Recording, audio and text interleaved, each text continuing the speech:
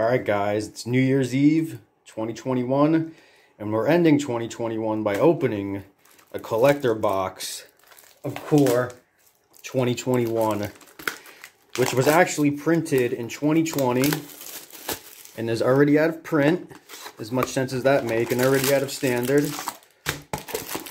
But that's all good, because we know who's in here, and I have, I have a feeling we're going to pull one we are going to pull a Ugin, at least one. I have a good feeling about it. All right, so this one's packaged different. Or, no, I think it's the booster pack where the commons are normally in the front. Yeah, so right after here, we get to the good stuff. Temple of Silence, Temple of Melody, Animal Sanctuary, Extended Art Foil. Not worth much, but still looks cool. Chandra's Incinerator. Garruk's Harbinger, yeah, those are those two are some of the bulk uh, the bulk commons that you get, I'm sorry, bulk rares that you get in the collector boxes. If you go ahead and look in our store, there's probably 10 or 20 of those things listed. All right, cool. Vito Extended Art. He is a pain in the ass to deal with, but extended art version of here. Then we got Niambi, who I just learned is Teferi's daughter. she's cool. We got her right there. Baneslayer Angel Foil. Scavenging Ooze, that's another bulk rare, but still a great card exiling shit out of the, your opponent's graveyard. Don't exile stuff out of your graveyard. Get stuff out of their graveyard. All right, then we got Gadrak there. Nine lives. This card actually screwed me recently in Arena because I, I don't read fully, apparently, sometimes, and I didn't realize that once it uh that enchantment leaves the game, you lose. That shit is over. And alright, that was a pretty weak pack. Maybe this will be like that last box where we're really going to get get crazy in the last few packs. Temple of Epiphany, Teferi's Ageless Insight, Cultivate, everyone's favorite card. And there he is. I knew he was in here. Awesome. So we got Ugin here. This is the borderless version. Not the foil, but still is the most expensive card in the set, with the exception of his foil version. And then we got Chandra right there. So we got the two people mainly responsible for killing the Eldrazi right there. You got Ugin and Chandra.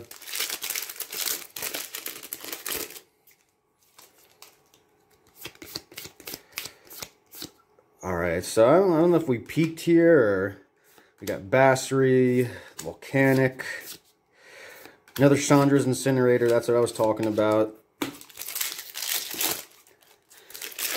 But for all of the Core 2021 that I've opened, she's not worth much, but I just have not seen many of her in that, that exact version, especially in a foil. Thieves Guild Enforcer. Another Vito, cool. That time foil. The Simulacrum, been around forever, always reprinted. And another Tefari's, Tefri. how, do you say that? Tefri, Teferi, Temple of Silence. Sublime Epiphany. All right, it's a borderless foil on this one. Some of these borderless foil versions are actually fetching decent money, and they seem to be going up. I don't know if that's because this was the first few sets where they actually did. I think Throne of... Could be wrong. I think Throne of Eldraine was the first time we... Uh, rather, they did like the extended art and kind of started that trend of all the different variants. Pack Leader more volcanic uh, salvo, whatever, it's worthless. Double vision, that is a really effective card right there, especially in commander. And surprisingly, that card is pretty much worth next to nothing. All right, then we got Basari right there. Extended art on him, and then that's it for that pack.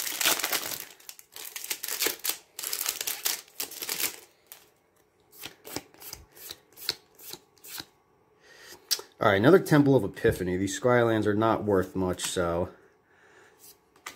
Then the extended art foil right there. Massacre Worm. That thing's still fetching decent decent money. Cultivate.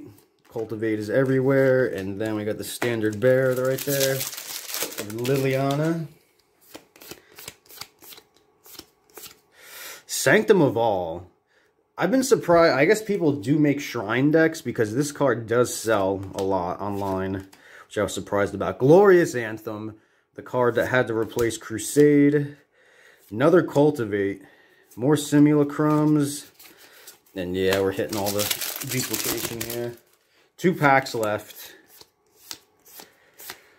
Fiery Emancipation. That is a big one right there. That's probably a $20 bill, especially in the borderless version there. Doing triple damage. All your permanents do triple damage to other people's permanents. So that thing is a monster. Azusa.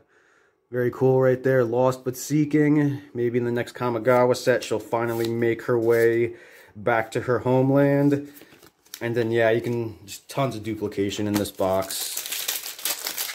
All right, let's see what the last pack brings. No Grim Tutors yet. No Teferi Planeswalkers. No Elder Gargaroths.